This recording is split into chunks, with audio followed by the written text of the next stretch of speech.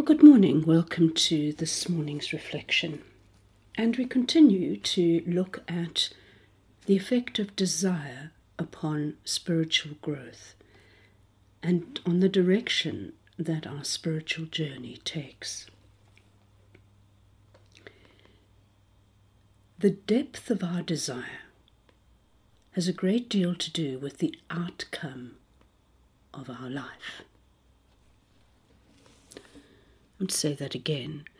The depth of our desire has a great deal to do with the outcome of our life. Very often, those who, who accomplish what they set out to do in life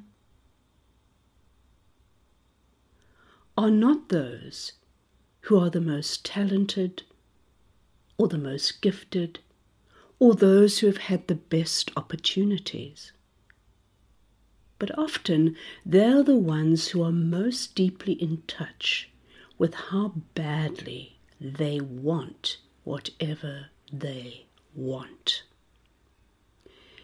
They are the ones who consistently refuse to be deterred by things that many of us will allow to become excuses. The paralytic was full of excuses.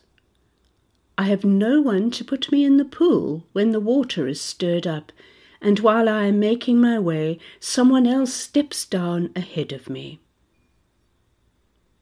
And Jesus' response, in effect, was Never mind all that.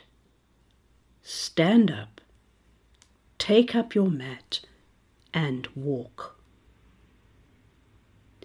Then the paralyzed man reached within himself to the place of deep desire and deep faith and did what he was told. And somehow his willingness to follow his desire opened the way for him to experience Jesus' healing power. Jesus' interactions with the people he came into contact with during his life on earth make it clear that desire and the willingness to name that desire in Christ's presence is a catalytic element of the spiritual life. It is one of the most powerful motivators for a life lived consistently with intentionality and focus. Beyond that, the willingness to open up this tender and sometimes volatile place in Christ's presence is part of the intimacy we seek. Somehow it creates the possibility for Christ to be with us in a way that meets our truest need.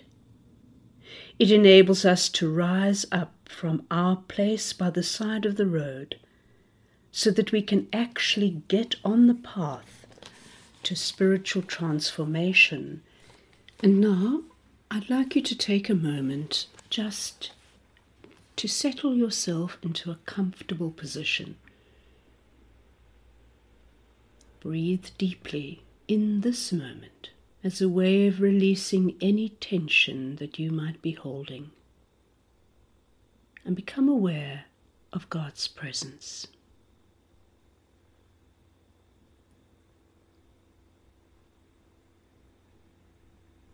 A presence which is closer than the air you breathe. Allow yourself to enjoy God's presence in quietness just for a few moments.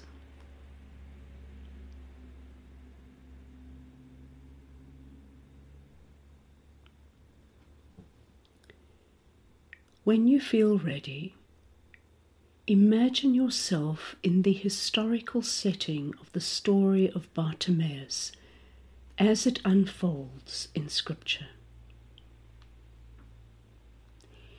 See yourself as the person needing something from Christ and calling out to Him from the noisy crowd.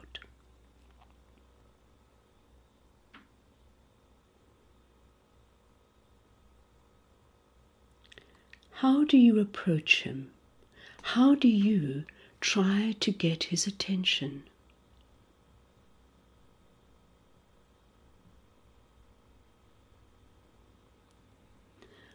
What words do you use?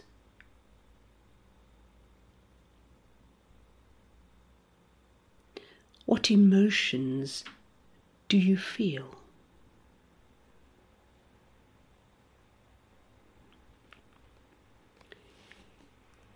Imagine that in response to your cry, Jesus turns to you.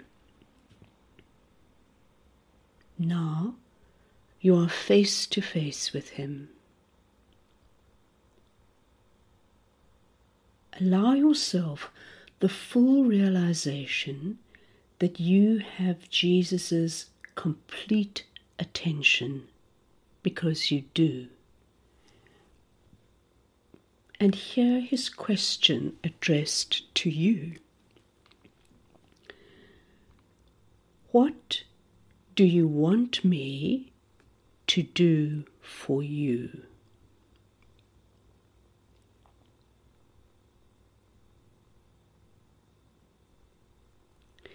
Do not be afraid of your emotion.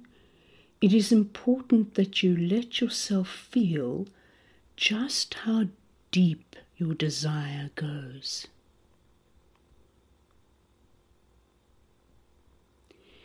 You may need to sit with the question and your response for quite some time before you are fully aware of your heart's deep desires or before you are fully able to express it. Give this question and the answer all the time that it needs. And you may want to stop this now. And perhaps go for a walk. Lie in the grass and feel the warmth of the sun or curl up under your blanket. But let this question sit with you. What do you want me to do for you?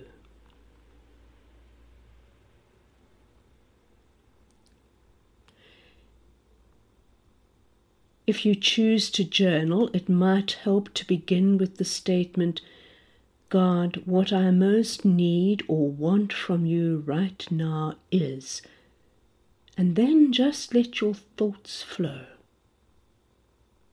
and listen for Christ's response.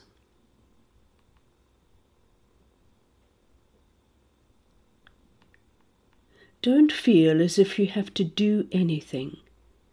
Simply relish the intimacy and richness that come when we're able to be with what is in God's presence.